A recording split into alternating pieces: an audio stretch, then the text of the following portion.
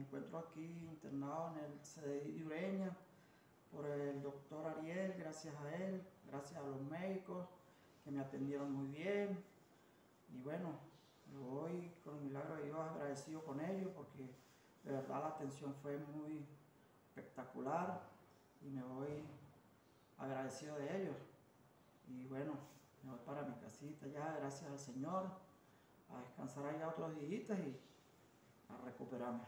bueno, muchas gracias por todo y le agradezco a todos los enfermeros y enfermeras que me atendieron muy bien, me siento agradecido y bueno, este, me llamo Graciliano Ramírez, vivo en la organización La Esperanza y bueno, le doy gracias a ellos que me atendieron muy bien.